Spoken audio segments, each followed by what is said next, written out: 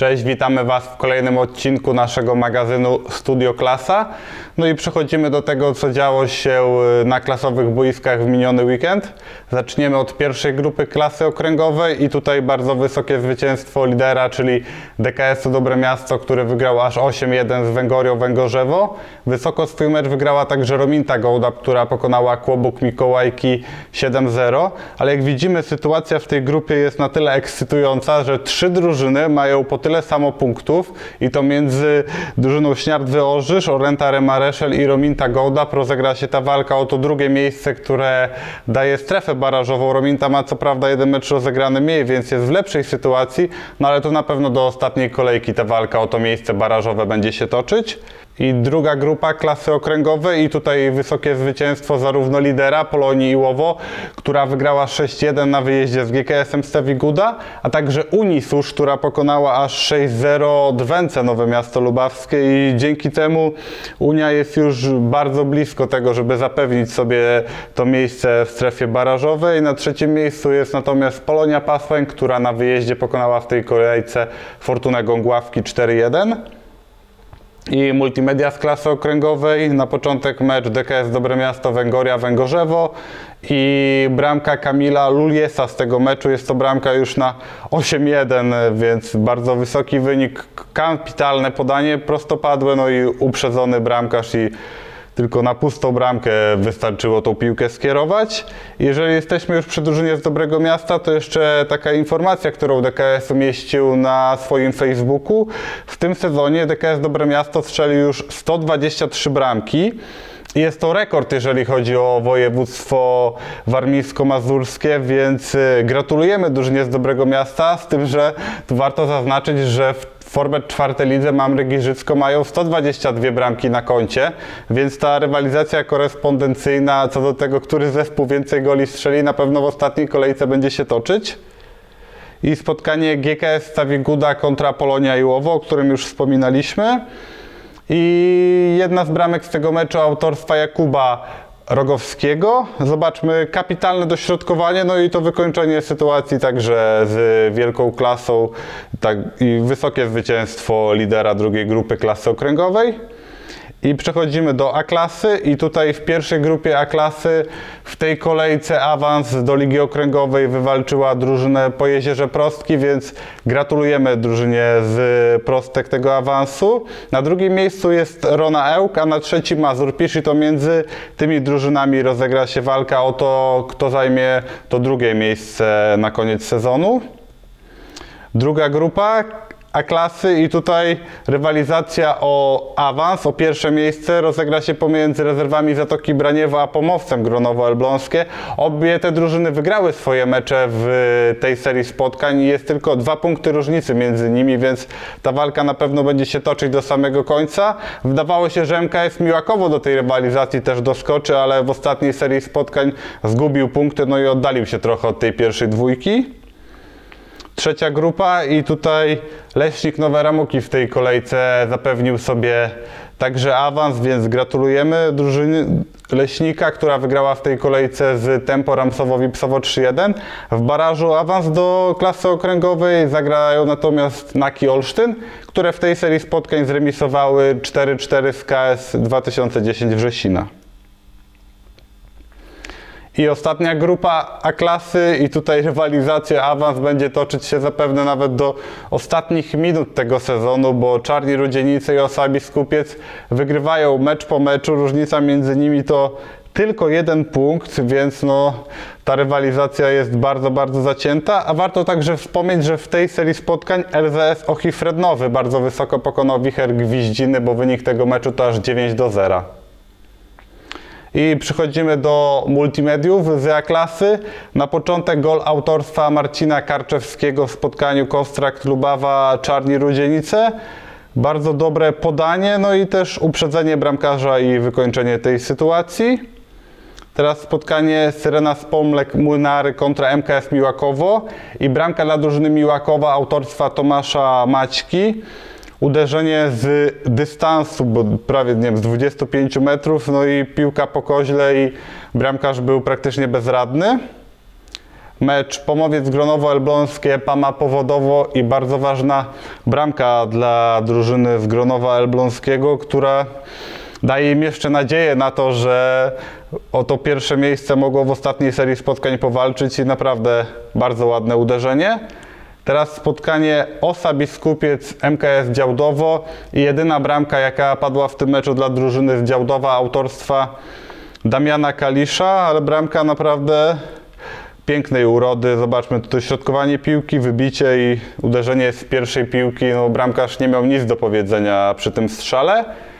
Teraz spotkanie KS po Jezierze Prostki kontra Mazur Wydminy i gol autorstwa Damiana Gutowskiego z tego meczu. Tutaj nagranie z perspektywy trybun, uderzenie piłki głową, no i piłka wpadła do bramki. Była to bardzo ważna bramka, bo tak naprawdę ta bramka zapewniła drużynie z Prostek ten upragniony awans. I tu jeszcze radość drużyny KS Pojezierze Prostki po tym meczu, którą otrzymaliśmy na naszą skrzynkę mailową. No naprawdę zasłużony awans, więc jest się z czego cieszyć. No i jeszcze Leśnik Nowe Ramuki, o którym już wspominaliśmy, że także ten awans wywalczył. Tu mamy jedno ze zdjęć z tej fety, jaka, jaką Leśnik sobie urządził po tym awansie. Więcej zdjęć jest na ich profilu facebookowym. Widać, że ta radość jest ogromna, no ale awans również zasłużony. Jeszcze taka informacja od drużyny Osy Biskupiec, ponieważ Osa strzeliła setną bramkę w tym sezonie i autorem tej bramki jest kapitan drużyny Bartek Szwaracki, więc gratulujemy i strzelcowi, no i całej drużynie, bo strzelić 100 bramek w sezonie to na pewno jest wyczyn.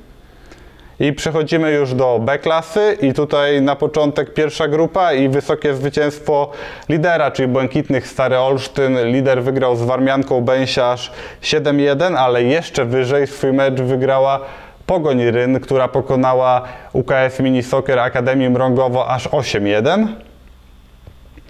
I druga grupa B klasy i tutaj wyniki jakie nie padają nawet czasami chyba w meczach hokejowych, bo Warmiak Łukta pokonał Warmię Elbląg, uwaga, 18-0, a Mewa Smykowo wygrała z pogromem Aniołowo 12-1, więc no, wyniki są kapitalne. 30 bramek strzelonych w tych dwóch meczach przez drużynę z Łukty i ze Smykowa to robi ogromne wrażenie, ale w tej kolejce także awans z ligę wyżej wywalczył Kormoran Bynowo, więc gratulujemy drużynie z Bynowa. I ostatnia grupa B klasy i tutaj kolejna wysoka wygrana lidera. KS Mroczno na wyjeździe wygrał z Welem Bratian aż 7 do 4, a na trzecim miejscu w ligowej tabeli umocniła się drużyna Wela Dąbrówno, która wygrała z Torpedą Rożental 2 do 1 na wyjeździe. I teraz e, multimedia z B-klasy, mecz PFT Drewnek Sampława, Żakia Mielnik. No jedna z bramek tego meczu, a jedyna tak naprawdę, jaka padła autorstwa Marka Nastachowskiego. Bramka jest z dwóch różnych perspektyw, bo drużyna z Sampławy przyzwyczaiła nas do tego, że właśnie w taki sposób te swoje bramki pokazuje. Zobaczmy, uderzenie piłki głową, no, świetne dośrodkowanie, ale też i wykończenie tej sytuacji na naprawdę y, bardzo dobrym poziomie. I mecz Osa Ząbrowo kontra Zamek Szymbark. I tutaj także jedna z bramek z tego meczu autorstwa Michała Szymańskiego. Trochę pomógł w tej sytuacji bramkarz rywali, no ale akcja wykończona w bardzo dobry sposób. Jeżeli jesteśmy już przy tym meczu, to chcieliśmy zwrócić uwagę na to, w jaki sposób Zamek Szymbark pogratulował drużynie z Ząbrowa awansu do wyższej klasy rozgrywkowej. Zobaczmy taką paterę drużyna z Ząbrowa dostała przed meczem z gratulacjami tego awansu, więc naprawdę bardzo, bardzo fajny gest. IKS Mroczno i tutaj takie fajne zdjęcie. Zdjęcie jest z walnego zgromadzenia delegatów, y, które odbyło się w piątek i na tej tablicy widnieje 4,5 KS Mroczno. Y, to oczywiście jest przerobione zdjęcie i to oznacza, że KS Mroczno ma średnią 4,5 bramki na mecz w tym sezonie Jest to rekord, y, który pobili, a wiemy w rozmowie z Krzysztofem Zielaznym w jednym odcinku, że mówił, że oni bardzo liczą na to, że ten rekord uda się pobić. No i jak widzimy, udało się to osiągnąć. Teraz jeszcze Warmiak Ukta i radość Warmiaka Ukta po tym, jak zapewnił sobie pierwsze miejsce w swojej grupie i awansował do wyższej klasy rozgrywkowej. Warmiak strzelił bardzo dużo goli, przez długi czas był w ogóle drużyną, która nie straciła żadnego punktu, więc na pewno ten awans jest w pełni zasłużony. I teraz przyszedł już czas na rozmowę z naszym gościem. Dzisiaj będzie nim Maciej Stec. Jest to człowiek, który prowadzi social media w drużynie MKS Miłakowo, więc na pewno o tych social mediach z nim porozmawiamy. Cześć Maciej, powiedz nam, czy te wszystkie rzeczy, które są u Was na Facebooku, to jest e, Twój autorski pomysł? Bo na, na przykład te grafiki przedmeczowe z prezentacją składu wyglądają naprawdę fajnie i profesjonalnie. E, cześć, dzień dobry wszystkim. E, to znaczy tak, jakby mm, sama strona nie jest moim pomysłem, e, jakby stronę zakładał mój kolega, pozdrawiam Daniel. Na początku w ogóle mieliśmy prowadzić ją razem, ale no kolega wyjechał prosto do pracy za granicę i z racji tego, że ja zostałem tutaj na miejscu sam, to jakby sam prowadzę stronę. Mm, grafiki, tak, grafiki jak najbardziej e, ja przygotowuję. Mm, na początku, jeszcze w tamtej rundzie, gdzie e, mieliśmy innego trenera, to jakby e, trener podsyłał mi te grafiki. Mm, teraz trener się zmienił i jakby ja zostałem za to odpowiedzialny. I jakby tak, grafiki przygotowuję ja osobiście w specjalnym programie. Mhm. A czy macie może, nie wiem, jakieś takie pomysły odnośnie przyszłości, żeby na przykład robić jakieś transmisje z meczów na żywo, bo coraz więcej klubów właśnie w takie praktyki też idzie? E, tak, e, mamy jak najbardziej. E, no tu jakby głównie chodzi tylko, jakby są ludzie chętni do robienia takich rzeczy. Głównie chodzi o to, że no nie mamy po prostu sprzętu odpowiedniego. Jakby mamy świadomość, że można to zrobić po prostu z telefonu, ale na przykład no e, ja swojego telefonu potrzebuję na bieżąco e, podczas meczu, bo robię jakieś notatki i tak dalej. Więc właśnie rozmawiałem z kolegą, który też jest współtwórcą strony. Są takie pomysły na następny sezon. Jakby mamy nadzieję, że uda się jak najbardziej zrealizować. Mhm. Bo powie, powiedz mi jeszcze, bo w ostatnim czasie na waszym Facebooku między innymi była taka akcja, gdzie tam mieszkańcy mieli poszukiwać waszych koszulek, wydawaliście takie wskazówki. Czy ta akcja przyjęła się e, dużym zainteresowaniem i czy zamierzacie takie akcje dalej kontynuować? To znaczy tak, jakby naszym głównym celem jest e, prowadzenie takiej bardzo fajnej interakcji na linii klub a kibice. E, jakby no nie da się ukryć, że w tych niższych ligach e, no gra się głównie dla kibiców, jak wiadomo te pieniążki są albo bardzo małe, które się zarabia, albo nie ma ich w ogóle jak w wielu przypadkach, więc jakby gra głównie tyczy się dla kibiców i z takiej czystej pasji. Ta akcja akurat z tymi koszulkami przyjęła się bardzo dobrze, powiem szczerze, że, bo ja osobiście rozwoziłem te koszulki, powiem szczerze, że byłem nawet zaskoczony jak dobrze, e, bo dosłownie wstawiałem post e, o tym, gdzie jest koszulka schowana i za minutę, dwie, dosłownie to był taki okres czasu, pojawiał się komentarz, że koszulka jest już znaleziona. E, no powiem szczerze, że zanim wróciłem do domu, jakby po schowaniu ostatniej koszulki automatycznie wróciłem do domu, zanim wróciłem do domu wszystkie koszulki były już znalezione.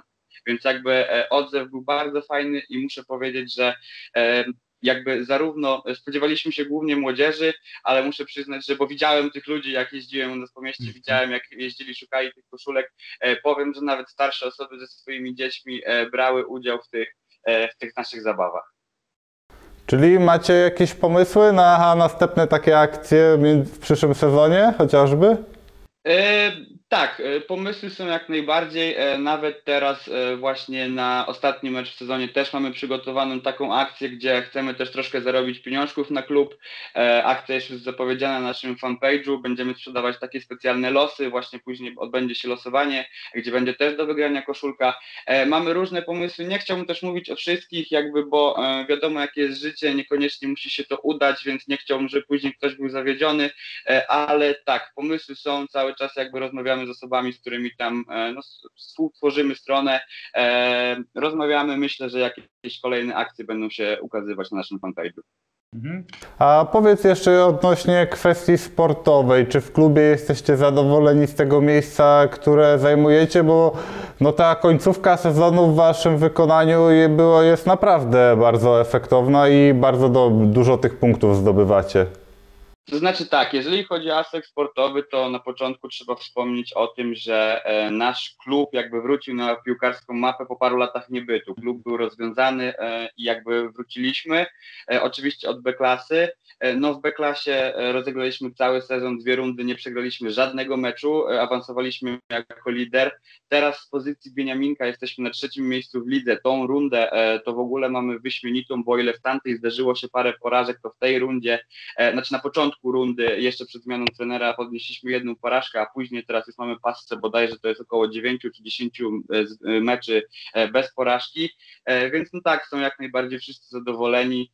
Myślę, że jakby po takim powrocie od razu takie wyniki, jakie osiągamy są naprawdę bardzo zadowalające. I to właśnie też e, przekłada się e, jakby na stronie. No ja, ja jakby w, patrząc na to, jak prezentuje się drużyna, czuję się też troszkę powiedzmy zobowiązany w cudzysłowie do e, jak najlepszego prowadzenia strony. Właśnie staramy się cały czas progresować, bo no zaczynaliśmy na przykład od tego, że składy pisaliśmy po prostu w formie posta, a teraz właśnie tak jak wspominałeś, e, wrzucamy je e, na grafice, na konkretnej formacji, e, też na początku wywiady też były w formie pisanej, po prostu ja pisałem pytania piłkarzowi, piłkarz mi odpisywał i ja to wklejałem na stronie, teraz robimy to profesjonalną kamerą, mamy też ujęcia z drona, więc jakby wszystko to wokół klubu, zarówno jakby mm, właśnie te kwestie sportowe, jak i strona, wszystko myślę, że kręci się i idzie naprawdę w dobrą stronę.